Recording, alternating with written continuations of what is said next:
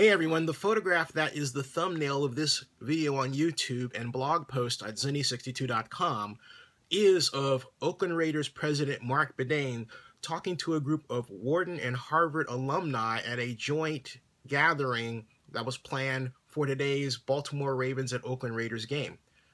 My friend was in the audience was and was kind enough to text me what Marc Badain said in brief. First of all, he said that he wanted to fill a $400 million gap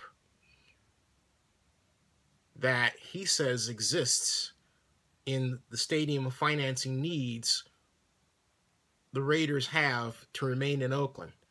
And that is in accordance with their desire to have a brand new $1 billion stadium. He also said that he was pessimistic that the Raiders would remain in Oakland. And he was asking the group for help. What I find quite interesting is I proved that the Raiders could get the stadium they want within reason, along with a $500 million stadium for the Oakland Athletics without spending a dime of public money. Of course, it would require the floating of a bond issue by the Joint Powers Authority. But my plan has a $518 million surplus, and I'm introducing it this Wednesday at Luca's at 6.30 p.m. so the public can understand the assumptions that I developed and how the fiscal system works.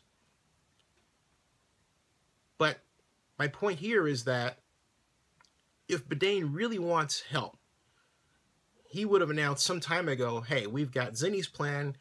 We're going to take elements of it. Indeed, that's what Floyd Gebhardt told the Montclair Greater Oakland Democratic Club meeting group on June 18th of this year. He said that the Raiders called him and said, we have Zennie's plan, and we're considering using it as a backup.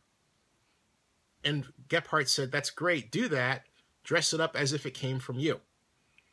So my sense is that Marc is issuing a party line that creates the rationale to move to Carson and join the Chargers in that city in a brand new stadium that Carmen Policy is working on. Why else would the Raiders have a viable alternative idea, at least, and not announce it and not look at it. And it also calls into question how sincere the Raiders are when they say they want help. Do they really want help in the form of an expenditure of public dollars? Or are they willing to get help of the best kind that doesn't require public money in terms of the presentation of a plan that allows such to occur? These are really hard questions, and I might add the, the, the white media, as I call them, is playing right into the Raiders' hands by not presenting the alternative that Mark Davis asked me to come up with at the NFL Spring League meeting in, here in San Francisco. I mean, actually in Oakland. So there it is, folks.